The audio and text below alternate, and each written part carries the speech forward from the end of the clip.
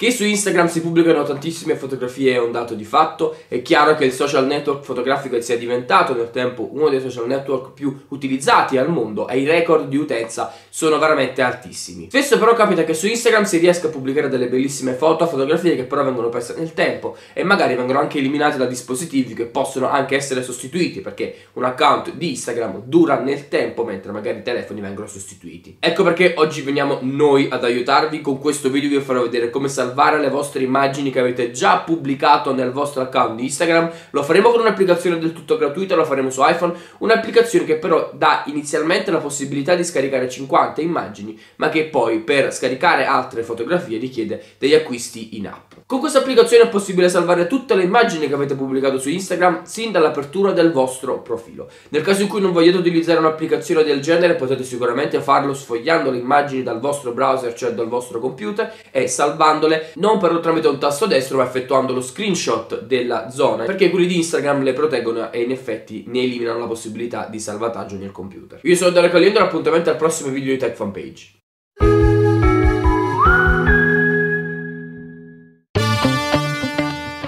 Nello specifico per salvare le foto di Facebook utilizzeremo un'applicazione che si chiama IG Saver che come vi anticipavo è scaricabile gratuitamente dall'App Store. Una volta scaricata e installata l'applicazione non bisognerà far altro che inserire i propri dati di login e darne l'autorizzazione ad accedere alle fotografie salvate nel proprio account e Fatto ciò, si potrà quindi accedere al proprio profilo e quindi a tutte le fotografie che sono state pubblicate nel tempo. Per salvare l'immagine non bisognerà fare altro che selezionare quindi l'immagine che si vuole salvare e selezionare proprio il tasto relativo al salvataggio. A questo punto l'immagine però verrà salvata nel database interno dell'applicazione, database interno che è possibile accedere dal menu dell'applicazione selezionando l'icona posta in basso a destra. Una volta selezionata questa icona e avuto accesso quindi a tutto l'elenco delle fotografie salvate, non bisognerà fare altro che selezionare una fotografia che si vuole salvare nel fotografico e scegliere proprio l'icona che si utilizza per condividere anche l'immagine e successivamente quindi scegliere l'icona per il salvataggio.